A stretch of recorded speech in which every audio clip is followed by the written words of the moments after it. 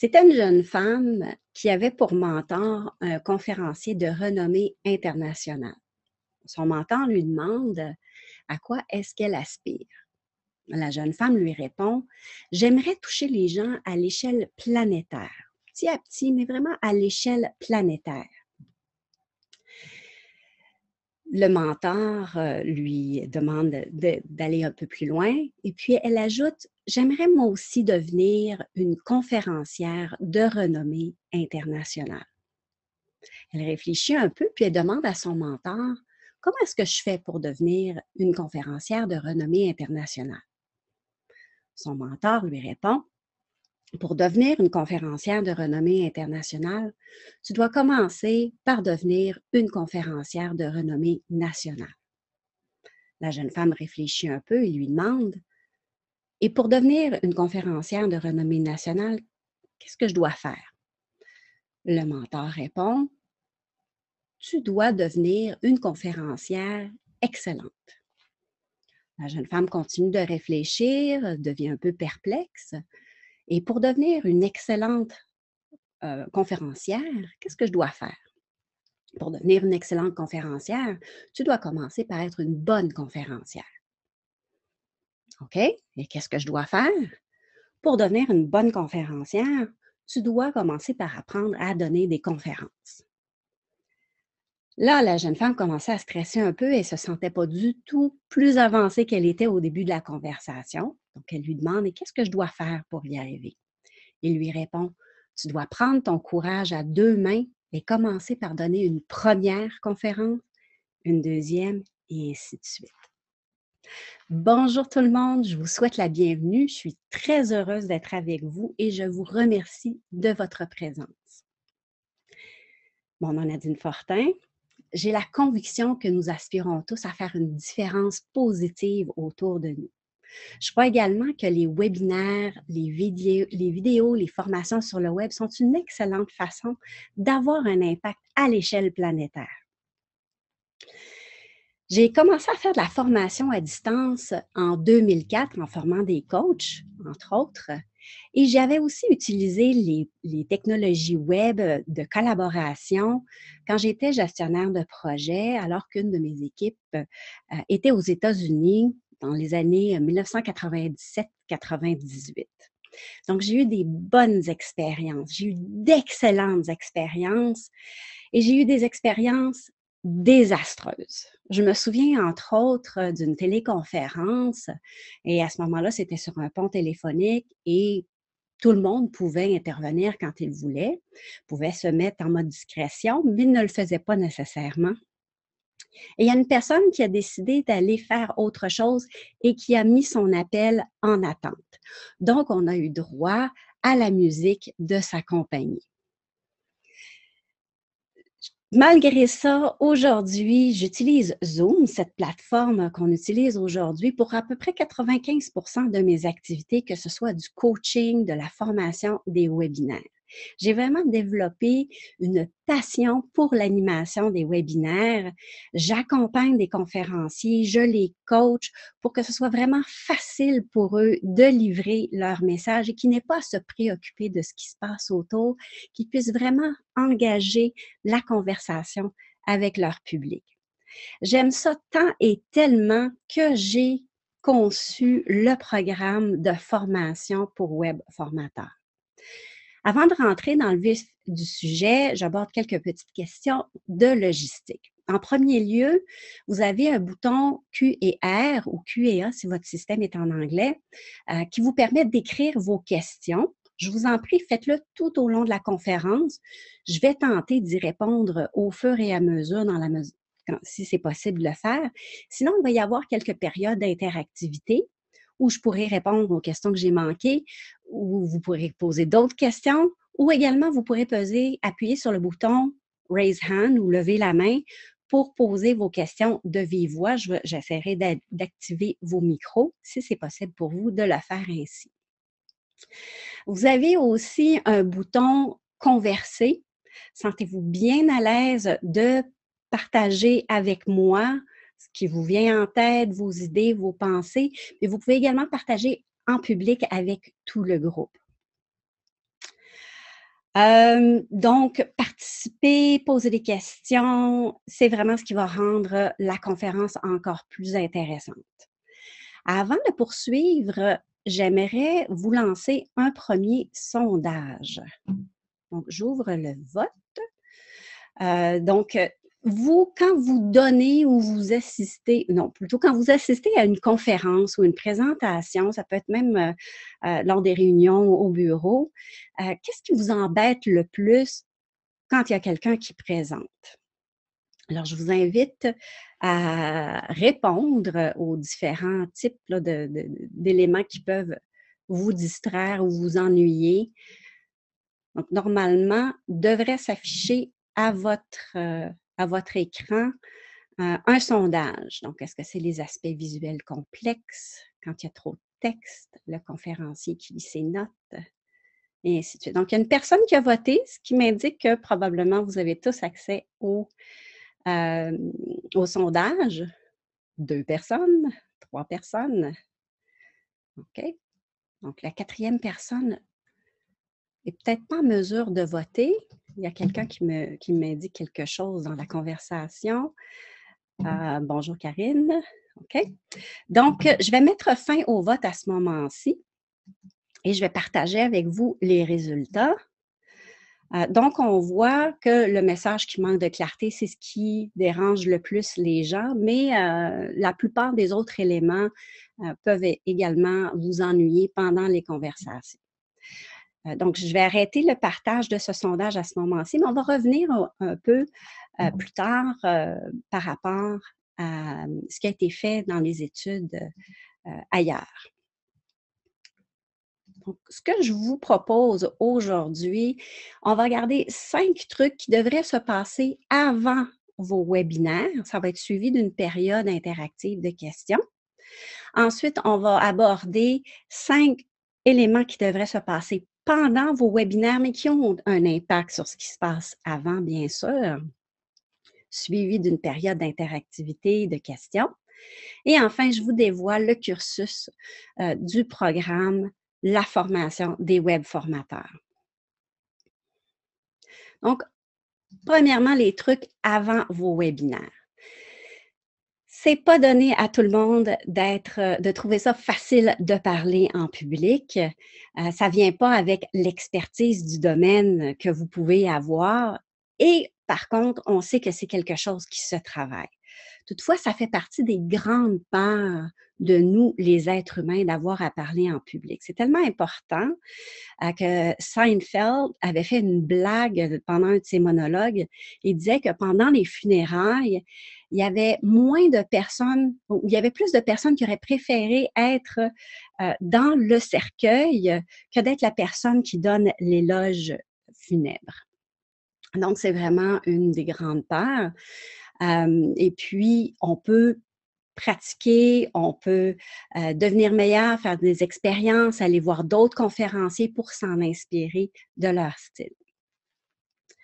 Deuxième truc, c'est très important de savoir quel va être votre message d'impact. L'idée directrice, euh, c'est ce qui guide un peu ce que vous allez apporter.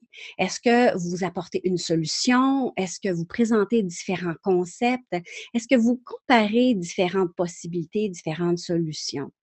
L'idée directrice, c'est votre position, votre opinion et c'est pas nécessairement le thème de votre présentation. Ce qui m'amène au troisième point, le choix du thème, du titre, du sujet de votre présentation. Je vous avoue que de mon côté, je pense que j'ai pas été très euh, stratégique. Mon titre a changé dix fois, si c'est pas quinze.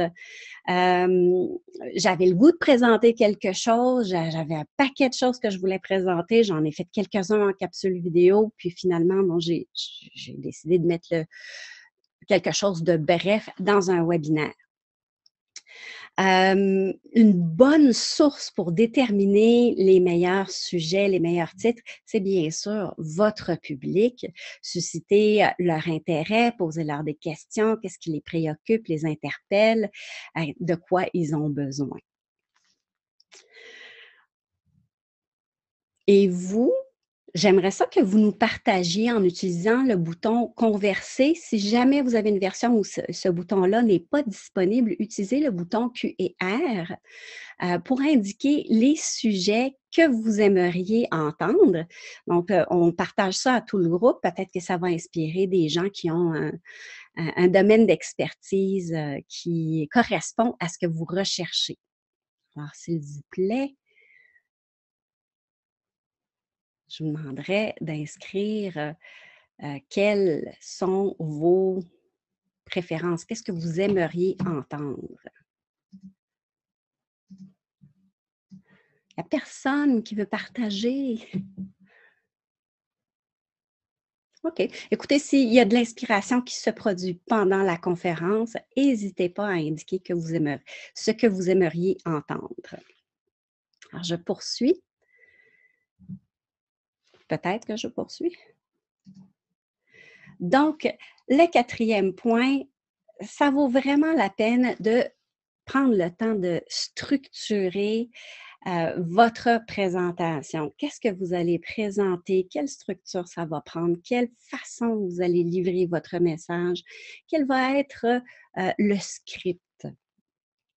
Euh, bien sûr, ce plan-là, éventuellement, on le, va peut-être le mettre sur des petites cartes, des petites notes de rappel ou encore sur un tableau blanc qui va être pas loin de nous, mais le plan, on va le mettre à la poubelle. Comme disait Eisenhower, le plan ne vaut rien, mais la planification n'a pas de prix. Par contre, pour mettre vos notes à la poubelle, ça m'amène au point numéro 5, pratiquer, pratiquer, pratiquer. Je ne peux pas insister suffisamment là-dessus. Euh, je me permets même de répéter ce que j'ai dit dans ma dernière capsule vidéo. Steve Jobs était incontestablement un maître des présentations, des conférences.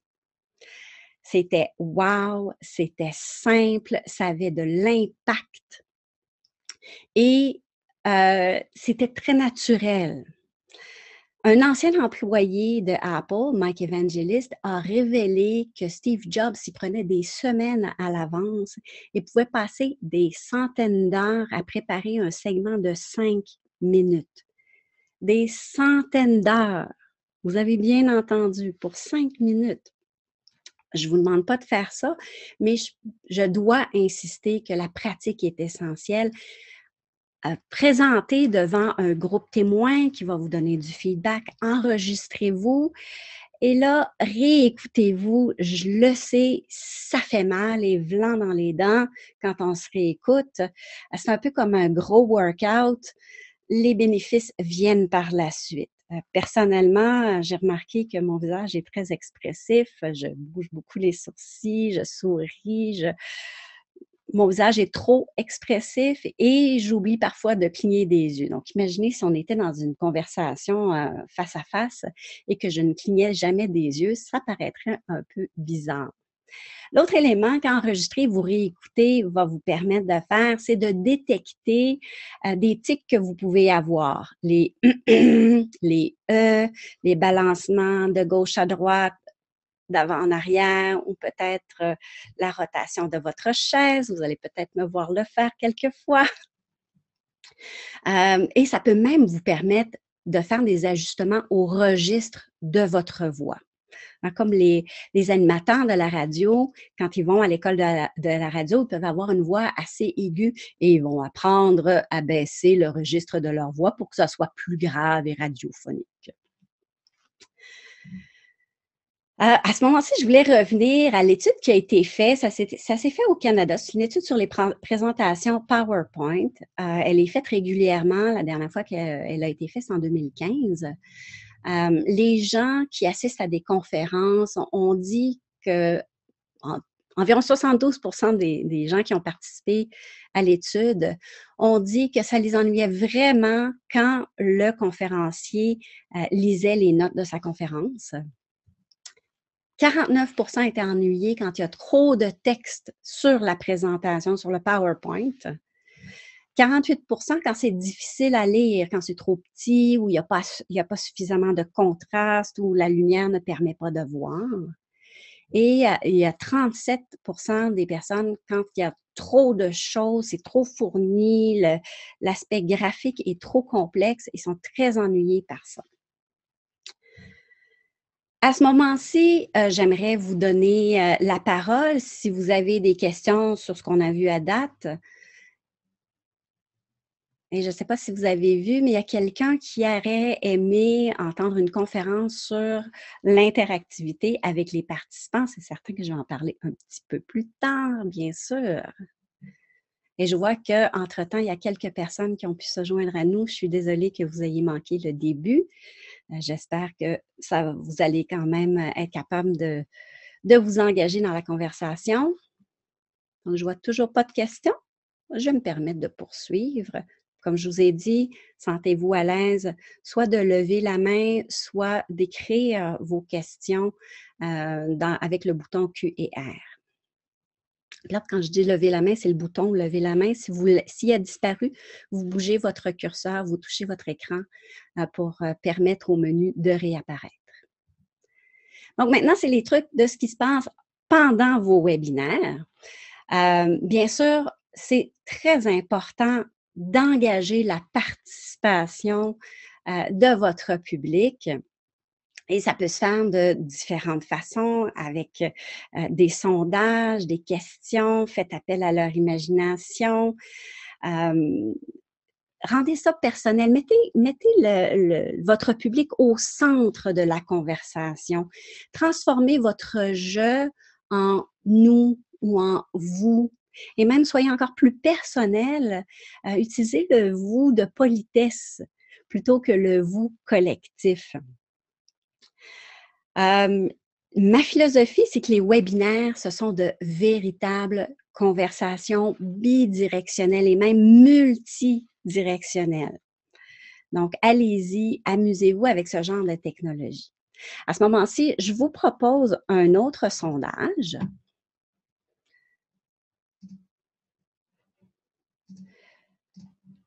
Donc, dans votre expérience, si vous avez fait des webinaires, qu'est-ce que vous avez utilisé pour engager la participation de votre public? Si vous n'avez jamais fait de webinaire, euh, quelle est votre expérience? Qu'est-ce qui a été utilisé le plus pour susciter la participation du public dans les, conférences? Donc, je pense que vous pouvez euh, cocher plus qu'une case alors, je vous invite à voter. Une personne qui a voté. Continuez.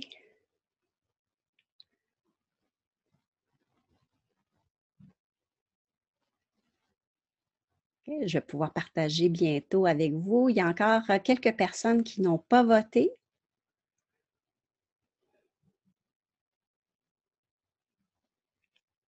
En passant, si vous voulez euh, utiliser un fil de conversation, Twitter ou Facebook ou euh, euh, Instagram, des choses comme ça, vous pouvez utiliser le hashtag webinaire et partager vos impressions de ce midi. OK? Alors, c'est pas mal stabilisé. Je vais mettre fin au vote. Il y a quelques personnes qui n'ont pas voté. Et je partage avec vous les résultats. Donc, on voit quand même que la majorité d'entre vous utilisent déjà ou ont fait l'expérience avec des sondages et le clavardage. Habituellement, ce qui ressort, c'est vraiment les questions et réponses, euh, à peu près n'importe quelle conférence, euh, formule de conférence, web conférence en personne, a une période de questions et réponses. Ah, mais comme vous pouvez voir, il y a d'autres euh, euh, façons de participer. Bien sûr, on aurait pu utiliser une plateforme de collaboration au lieu d'une plateforme pratiquement unidirectionnelle de webinaire. Alors, j'arrête le partage. Et je poursuis.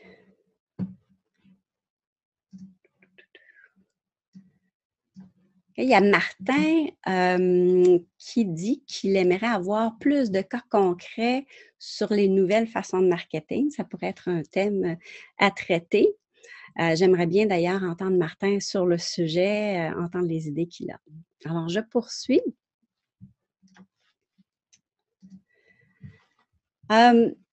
le public que vous avez, c'est essentiellement des êtres humains, des êtres premièrement très émotionnels. Ils veulent être touchés parce que vous voulez, parce que vous avez à leur présenter. Donc, utilisez des histoires, des anecdotes, euh, faites appel à leur imagination, euh, utilisez une, réalité alternée. Bon, comment c'est aujourd'hui et comment ça pourrait devenir avec ce que vous êtes en train de présenter? Et là, je vous révèle un secret.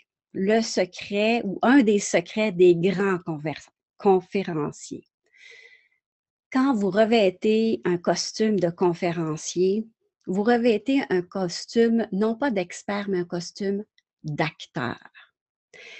Quand vous regardez le plan, le script des grands conférenciers, il est annoté pour marquer euh, les pauses, les accents, les gestes, les crescendo, les diminuendo, les répétitions, ce qu'on répète pendant la présentation. Pareil que le comme le ferait un acteur avec son script pour un théâtre euh, ou un film.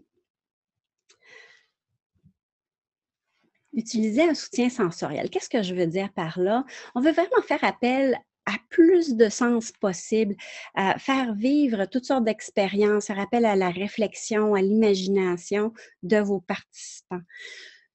Suscitez leur intérêt, surprenez-le avec des, avec des vidéos, avec des effets sonores, avec des sondages, avec des images impactantes qui représentent votre message. Bien sûr, on dit qu'on a deux oreilles et une bouche. Alors, c'est pour écouter deux fois plus que parler.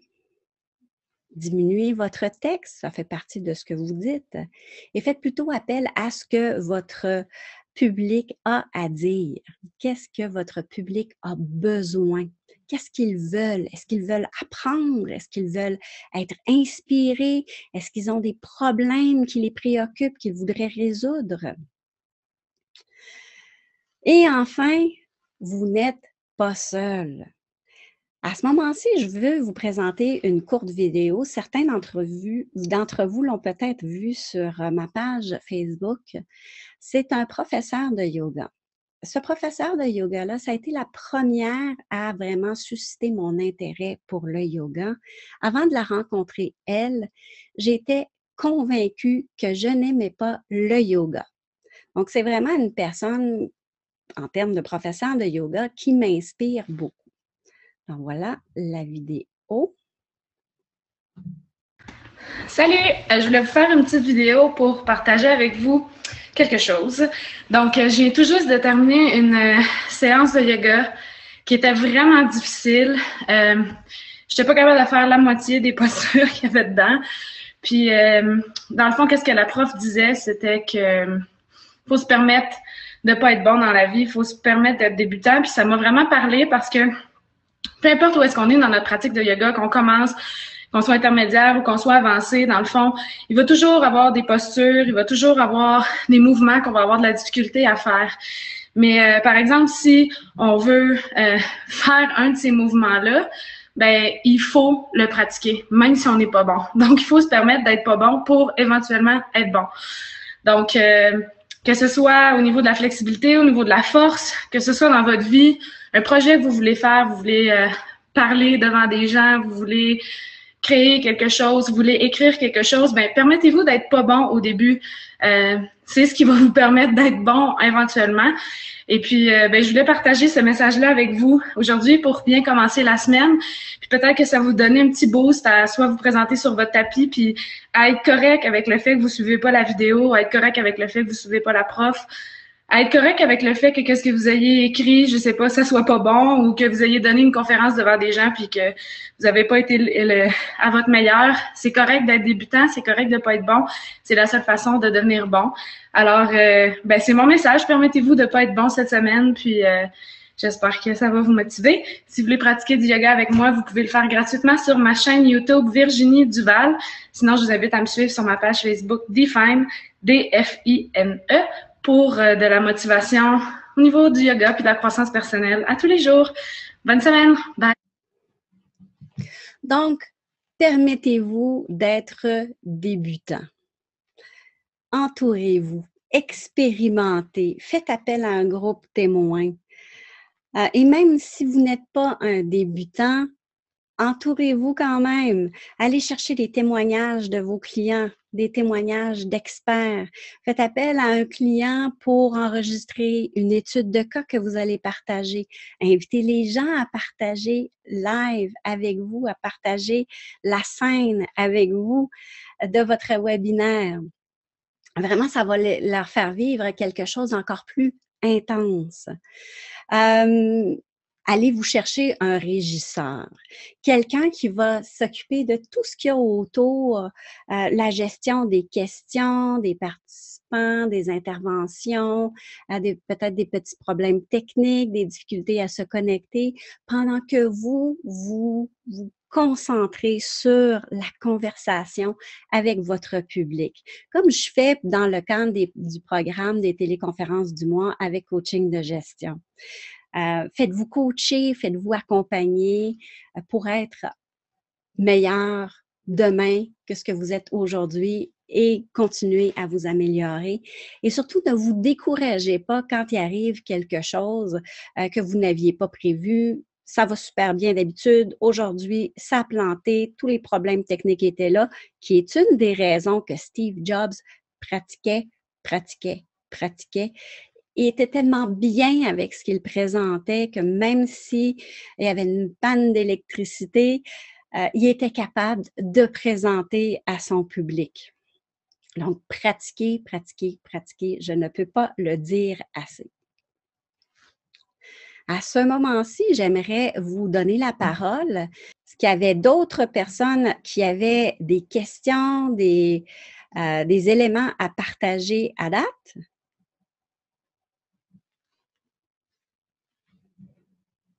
Ne soyez pas gênés.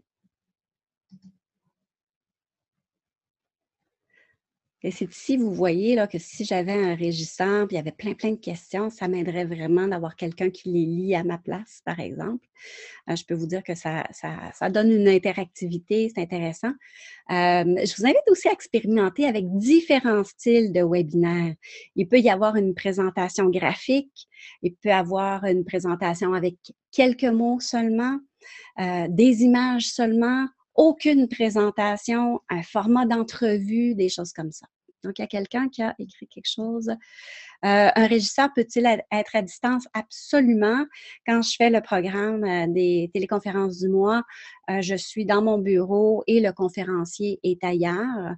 C'est certain qu'on a toujours un entretien d'une trentaine de minutes au préalable. Des fois, ça dure plus que 30 minutes parce qu'on a plein de choses à se dire.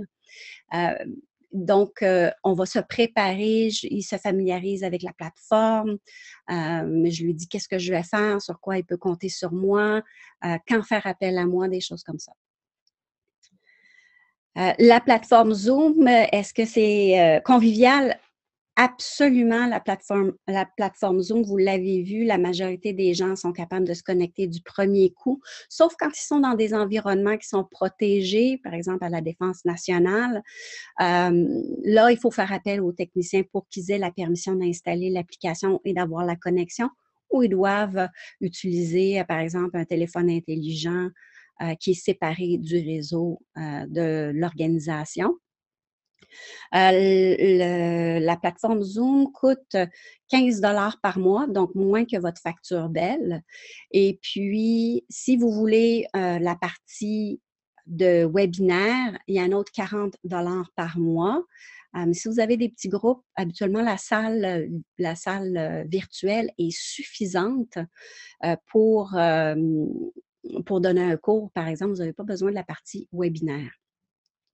Donc, il y a aussi possibilité de payer pour une année complète. Et là, c'est comme si vous payiez pour 10 mois au lieu de 12 mois. Et les membres de l'International Coach Federation ont un rabais de 10% là-dessus. Les prix de Zoom sont en dollars américains. Est-ce que les comptes Zoom peuvent être partagés? Euh, ben, si vous allez être plusieurs hôtesses, hôtes, euh, normalement, euh, ça prend un, compte pour chacun. Donc, par exemple, le compte de coaching de gestion, il y a trois salles virtuelles. donc, on paye pour les trois salles virtuelles, non pas pour une seule, puisqu'on peut utiliser les trois salles en même temps donc, oui, vous pouvez euh, partager un compte, mais ça vous prend plusieurs personnes qui vont avoir accès à la fonction d'hôte euh, des présentateurs. Merci pour euh, les questions, Karine. Alors, à ce moment-ci, je vais poursuivre. Donc, je suis très, très fière de vous présenter un aperçu du cursus de la formation des web formateurs. C'est quelque chose qui me passionne. Euh, l'objectif de ce programme, vraiment, ça vise euh, de vous donner des outils concrets pour offrir avec succès des formations sur le web. Et par formation sur le web, je parle vraiment qu'il y a une interactivité entre vous et euh, vos participants et non pas euh, un, logiciel de e-learning où est-ce que les participants passent à travers euh, du matériel en lisant et puis vont répondre à des quiz en ligne, même si ça peut quand même faire partie de votre stratégie on aborde des aspects qui sont plutôt andragogiques, c'est-à-dire justement la stratégie, la conception, l'animation, les styles d'apprentissage, la vérification des acquis. On regarde bien sûr les aspects plus techniques, technologiques. C'est quoi les possibilités de plateforme? Par exemple, je vous ai parlé d'une salle virtuelle, une salle de collaboration. Je vous ai parlé d'une salle de webinaire. C'est quoi les différences? C'est quoi un webcast? Euh, c'est quoi les possibilités pour diffuser euh, votre matériel didactique, pour diffuser vos formations? C'est quoi les formules de programme qu'on peut avoir? Et c'est là que oui, euh, le e-learning pourrait faire partie de votre stratégie de formation sans nécessairement être la stratégie euh, au complet de votre formation. Euh, c'est vraiment un programme qui se veut pratique. Euh, vous avez environ une heure de préparation par heure de cours, euh, de la lecture, des vidéos, des exercices pratiques. Vous mettez en action pour concevoir votre propre stratégie, votre, le contenu de votre formation et ainsi de suite. Et ensuite, on se retrouve dans une salle virtuelle euh, pour vous pratiquer, pour échanger, pour poser des questions. J'ai plein d'expertise à partager avec vous, euh, mais je suis aussi avide de co-créer des nouvelles possibilités, de repousser les limites comme on le fait chez Coaching de gestion depuis de 2003, de repousser les limites de la technologie euh, pour vraiment faire profiter les participants. Donc, le programme est structuré en cinq modules. En premier, on va regarder comment euh, concevoir la stratégie. Donc, c'est ici qu'on aborde les différentes formules. Est-ce que c'est un cours? Est-ce que c'est une série de cours? Est-ce que c'est plusieurs modules de plusieurs heures? Et ainsi de suite? On distingue les différentes plateformes technologiques, euh, les différentes formules pour diffuser l'information et votre formation. Dans le deuxième module, on aborde les compétences de formateur et comment elles s'appliquent ou sont modulées ou modifiées pour le web. Euh, par exemple, le leadership d'animation, l'art de poser des questions, d'être à l'écoute, être capable de s'adapter, euh, la vérification des acquis également. Euh, la transmission d'un message clair, c'était d'ailleurs une de vos, euh, de vos préoccupations. Dans le troisième module, on pousse ces compétences-là encore plus loin pour être capable de créer un véritable contact avec vos participants, vraiment les engager dans leur apprentissage, créer un, environnement d'apprentissage qui est euh, propice, qui est productif, qui est créatif, qui est satisfaisant pour les participants. C'est ici vraiment qu'on va aller explorer euh, aussi les styles d'apprentissage, comment vous êtes modulé par votre propre style d'apprentissage et comment vous devez vous adapter euh, selon les styles d'apprentissage de votre groupe, mais aussi selon la dynamique qui va s'établir dans le groupe, comment vous pouvez venir brasser ça un petit peu, euh, comment vous allez gérer les questions des participants pour amener de la satisfaction. Le quatrième module, euh, c'est vraiment tous les aspects logistiques euh, autour de la formation en tant que telle. Euh, par exemple, la gestion des inscriptions, la gestion des problèmes techniques, la gestion du dossier des participants, absence, présence, certification, des éléments comme ça. Et on va également aborder la promotion de votre, votre, vos activités de formation sur le web, que ce soit à l'interne ou à l'externe, comment vous faites connaître que c'est disponible, comment vous suscitez la participation. Et enfin, dans le dernier module, on vous cède la parole et vous devez, comme participant, présenter une formation sur le web d'une durée d'environ 20 minutes euh, qui va être évaluée avec les critères, les compétences qu'on aura explorer tout au long de la formation. Voilà, ça conclut ce que j'avais à vous partager. à ce moment-ci, en tout cas. Et puis là, je vous dis, c'est pas coulé dans le béton, ce programme-là, et ça ne le sera jamais. J'espère que ça va continuer d'évoluer, que dans dix ans, ça va être quelque chose de nouveau. J'ai vraiment besoin de votre feedback. Qu'est-ce qu'il y a trop dans ce que je vous ai présenté comme programme? Qu'est-ce qui manque? Qu'est-ce qui serait une véritable valeur ajoutée qui rendrait ce programme-là un incontournable?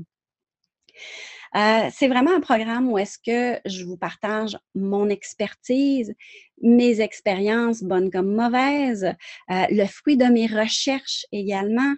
Euh, puis quand je parle de mes expériences, je parle de mes expériences comme formatrice, mais aussi comme participante. Et puis, je vous transmets vraiment ma passion, ce qui me passionne, ce qui me fait triper, ce qui me fait vibrer. Donc, euh, c'est maintenant votre tour. La parole est à vous. Posez vos questions, partagez. Si vous voulez allumer vos micros, vous pouvez cliquer sur le bouton Lever la main. Sinon, vous pouvez écrire vos questions, vos commentaires avec les boutons Q et R ou le bouton Converser.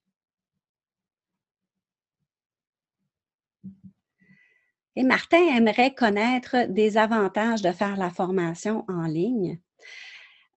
Ce qui est vraiment, en tout cas, il y, en a plein, selon moi, il y en a beaucoup, beaucoup, beaucoup. Euh, ce que moi, je trouve particulièrement intéressant, c'est qu'on est capable d'aller chercher des participants de différents endroits géographiques. Dans mon expérience de formatrice, de coach, euh, j'ai travaillé avec des gens qui étaient en Chine, euh, en Afrique, dans l'océan Indien, euh, en Europe, en Amérique du Sud, bien sûr au Québec, mais à d'autres endroits au Canada également. Donc, l'aspect interculturel, l'aspect de, différentes perspectives par rapport à ce qu'on est en train de travailler euh, est très, très intéressant.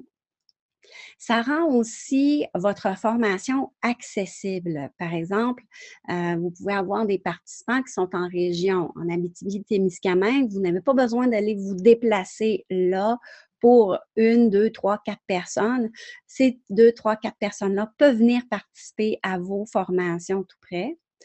Euh, puis il y a aussi l'aspect d'accessibilité. Une personne euh, qui peut avoir de la difficulté à se déplacer parce qu'elle est en chaise roulante, euh, ou même si on prend l'exemple du programme d'entraînement au coaching professionnel, on a Jean-Luc Penning, qui est un des formateurs chez Coaching de gestion, qui est aveugle. Donc, lui, il a suivi tout son cursus euh, par téléphone et puis aujourd'hui, il forme les gens sur Zoom euh, en coaching.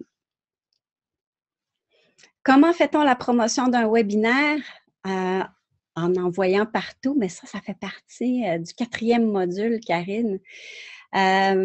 oui, effectivement, quand vous avez des activités comme ça, des activités gratuites, entre autres, euh, indiquez-le dans votre signature, euh, rendez ça visible, ayez un bouton, un hyperlien qui va permettre aux gens d'aller s'inscrire, euh, partagez sur vos réseaux sociaux. J'ai mis beaucoup de choses sur LinkedIn, Facebook, Twitter, via Déo un petit peu également. Euh, l'autre élément, c'est de, partager à différents moments. Euh, selon les, statistiques pour des gens qui ont des gros, gros, gros webinaires, il y a environ un quart des gens qui s'inscrivent euh, à peu près un mois à l'avance. il y a un, autre quart qui va s'inscrire dans les derniers 24 heures avant la formation. Donc, on veut envoyer des courriels vous voulez vous bâtir euh, une liste de courriels en respectant les règles euh, anti-courriels, bien sûr. Euh, les gens doivent pouvoir, entre autres, se désabonner. Vous voulez envoyer des courriels, faire allusion à votre webinaire au moins trois semaines à l'avance et même plus. Et vous pouvez renvoyer d'autres courriels entre-temps. Euh, et puis, vous voulez varier le format de vos courriels. Vous pouvez avoir quelque chose qui est juste du texte, euh, quelque chose qui est très visuel et vous voulez être capable d'envoyer un rappel la veille. Comme ce matin, j'ai posté quelque chose sur Twitter, c'est allé sur Facebook pour moi et j'ai mis quelque chose sur Viadeo et sur LinkedIn avec le lien direct pour venir sur le webinaire. Bien sûr, il y a d'autres stratégies. Il faut monter euh, la, liste de courriels et, là, des fois, on est un petit peu gêné de le faire. On ne veut pas harceler les gens, mais les gens, si ça ne les intéresse pas, ils vont vous le laisser savoir, ils vont se désabonner, ils ne regarderont pas, ils vont regarder en diagonale et ainsi de suite. Est-ce qu'il y avait d'autres questions à ce moment-ci? Ne soyez pas gênés, levez la main.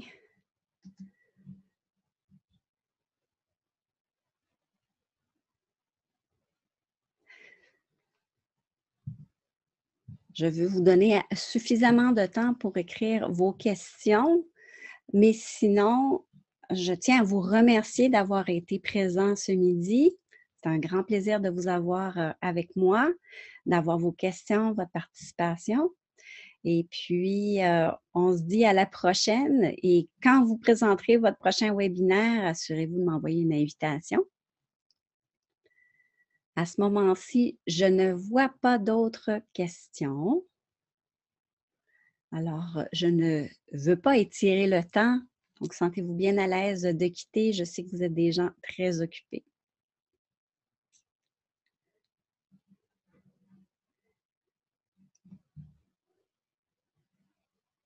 Merci à tous.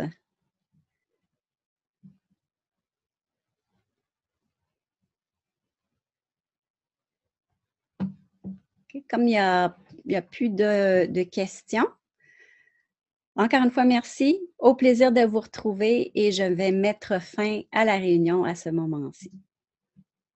Bonne journée.